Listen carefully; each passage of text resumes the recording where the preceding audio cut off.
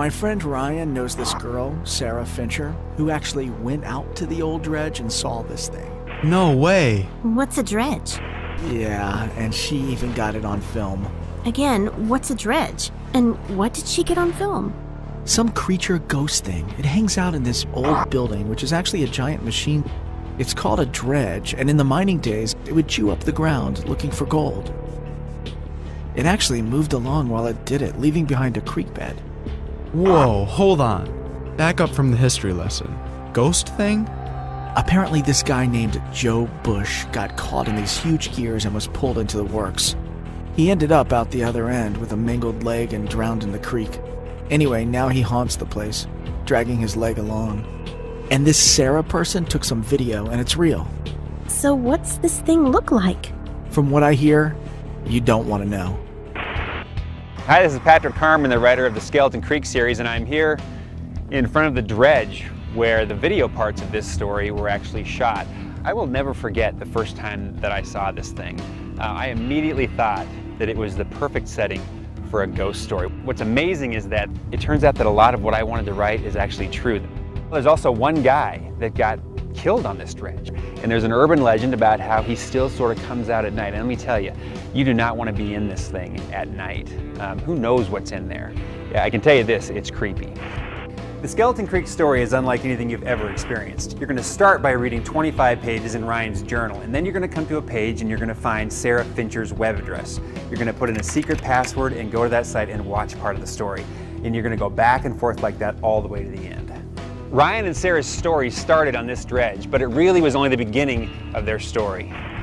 In the third Skeleton Creek book, The Crossbones, Ryan and Sarah are going to journey all the way across the country. You're going to see some of the most haunted places in the world. You'll be able to see them, you'll be able to read about them. It's going to be an amazing journey. I'll tell you this much, all roads lead back to this dredge in Skeleton Creek.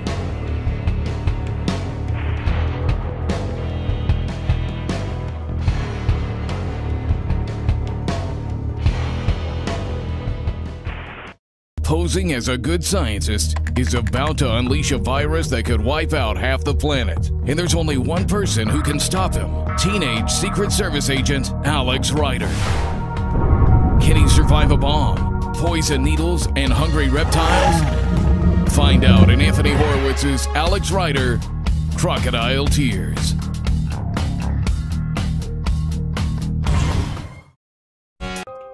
When was the last time you read a book that was so extraordinary that you couldn't wait to tell your friends?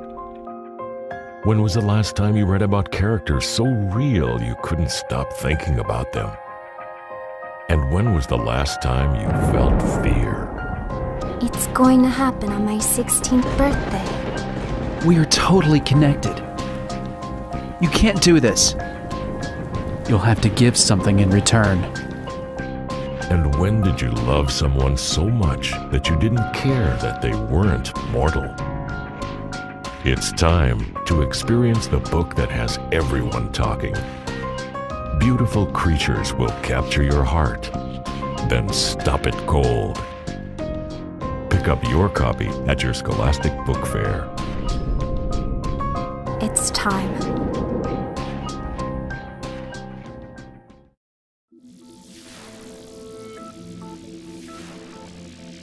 Everyone knows that clones are like the dumbest things walking on two feet.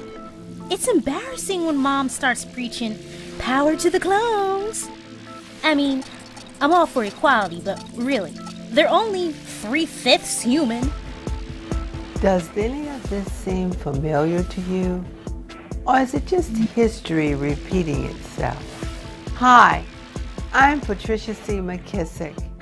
My husband Fred, my son John, and I wrote the Clone Code.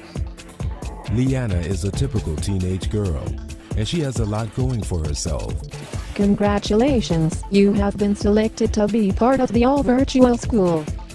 She spends most of her waking hours on her comm glasses that enable her to virtually go anywhere, anytime. Then one day, the unthinkable happens, and Leanna's life is changed forever.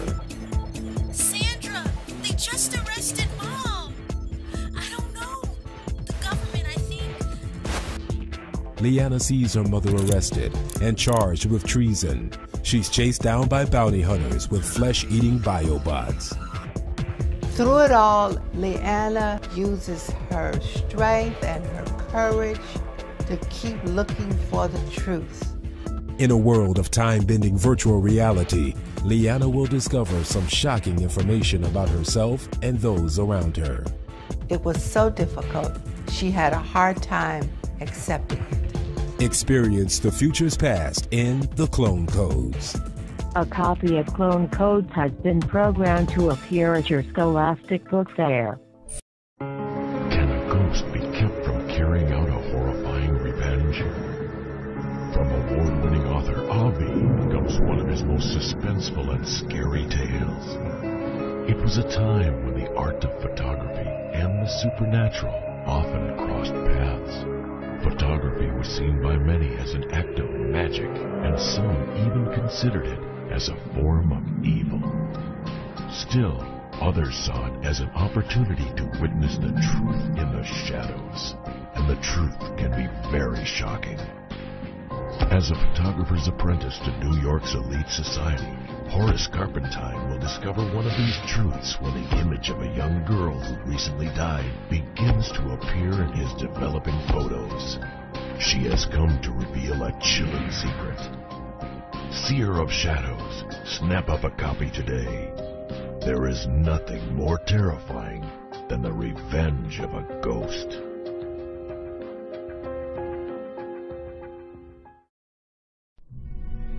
Rebecca never imagined that she would find herself trapped one night in a cemetery. But worse than that, she couldn't have possibly imagined who or what would find her wandering among the crypts. My name is Paula Morris, and I'm the author of Ruined, which is a ghost story and a murder mystery set in post Katrina New Orleans. After Hurricane Katrina, lots of things changed in New Orleans, and I was talking with someone, a person who claimed he could see ghosts, and he said that time had been fractured by the storm and that lots of ghosts were wandering the city. I started thinking about what would happen if a ghost lost her house. What if it was flooded or damaged by the wind? Where would she go? And so I started thinking about the cemeteries, the old cemeteries in New Orleans, above grounds which are, are known as cities of the dead, and thought about a ghost living there. And that was really the seed of the story. People ask me all the time if I believe in ghosts, and I always say I don't know. Lots of people in New Orleans tell me they've seen ghosts or they have ghosts living in their house, but I've never seen one myself. The story is made up. That's one of the great things about being a fiction writer. You get to make up characters, you get to make up situations, you get to make up a whole world that they live in. That's what I really enjoy. Rebecca, the main character of Ruined, is from New York, so she's never experienced Mardi Gras before. But she gets the chance to ride on a float during a Mardi Gras parade, to throw beads to the crowd, and to see everything from the inside and have a great time. But she also gets to notice some of the more maybe sinister aspects of a parade. There's an element of danger along with the excitement in a night parade, and Rebecca gets to see all that for the first time. New Orleans has some dark secrets in its history, and the novel explores many of those dark corners and tries to uncover what really used to go on. I would recommend this book to anyone who's interested in mysteries, especially something with a supernatural twist. Experience the dark side of Mardi Gras in Paula Morris's Ruined.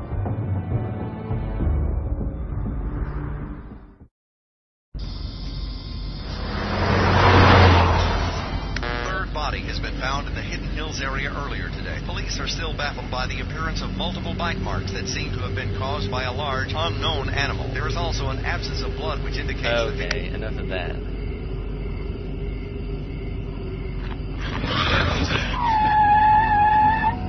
Man, what the heck was that?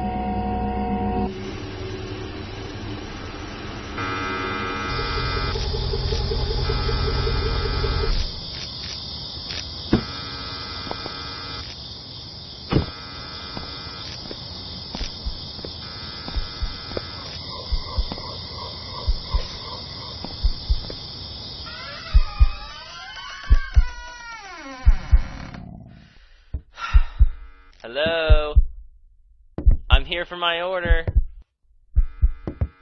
Hello? I'm here to pick up a pizza. Anybody? Can the terrifying secret that lies beneath the pizza shop lead the way for a takeover of a small Ohio town? Pick up your copy of Killer Pizza at your book fair. Next, Name, Olivia Hughes, age. 13. Well, I think we have the perfect part for you, young lady. You can play the lead in The Blemish That Ate Manhattan. My life is over. I keep having that same dream. They tell me, this is normal. Every teenager goes through this. It's a sign of maturity. Blah, blah, blah. I want my life back. Landed the lead part in a national commercial for the Wacky Water Park. I said, national! And I had a new boyfriend who was only the hottest guy in junior high. What started as a simple blemish has turned into a full blown disaster. Now my agent wants to rip up my contract, and my boyfriend wants nothing to do with me. I went from hit to zip. So, what does a person do when they've lost control of everything in their life? Olivia has to find out the hard way. And maybe what she finds isn't so bad after all. Zitface. Look for it at your Scholastic Book Fair. We were taken away, pitted against each other. Four orphans vying for a stolen crown. Judged on our bravery, our strength, our wits, and most importantly, our willingness to lie. Each of us has a choice between living someone else's life and losing our own.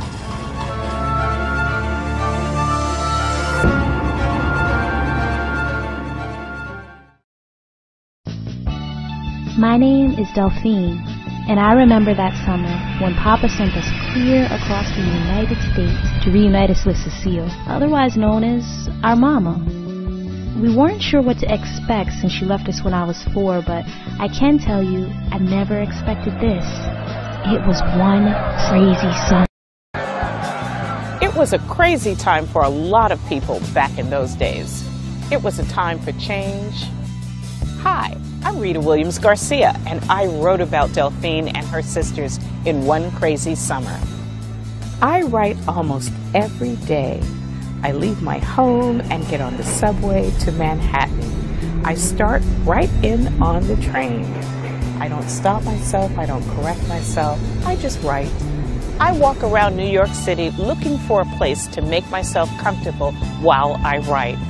I thought about Delphine, Vonetta, and Fern trying to do the same thing, making themselves comfortable while they're in Oakland experiencing a new place and new people. You can't imagine how difficult that must be. How can I call Papa and tell him that Cecile takes our spending money and makes us eat takeout Chinese food every night on the floor in the living room because she has some secret going on in the kitchen? Delphine stayed strong. She was from Brooklyn, New York, and she knew how to take care of herself and her sisters. Delphine and her sisters learned so much that summer of 1968. They learned what's important to them. But for Delphine, one important question was answered. Mama, why did you leave us? Pick up a copy of one of the most celebrated books of the year, Rita Williams Garcia's One Crazy Summer. Look for it at your Scholastic Book Fair.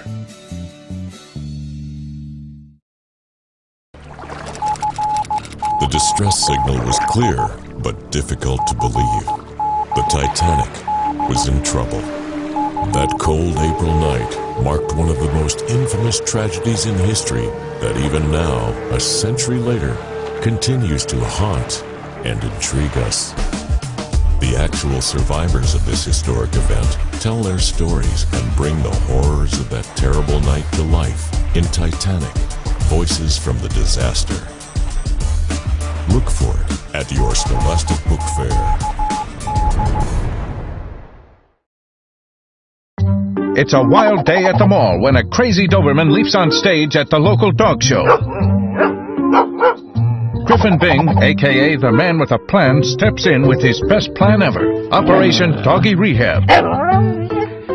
Can he turn this terrifying beast into the perfect pet, or will he and his friends end up in the doghouse? Find out in the latest book in Gordon Korman's best selling Swindle series. Look for Show Off at your Scholastic Book Fair.